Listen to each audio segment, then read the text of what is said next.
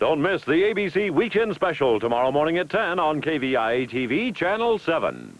The fields are a little bit sloppy, but they are playing high school football, and I'll have highlights of 22 different teams for you on Football Fever, coming your way at 11 o'clock.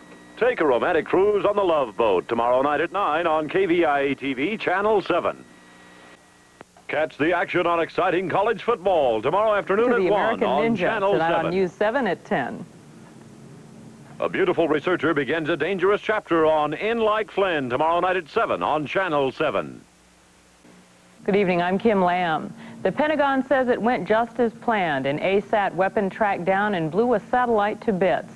Some Democrats fear it may have done the same to the upcoming U.S.-Soviet talks. And the El Paso Electric Company gets some good and not so good results from a recent audit. Now this.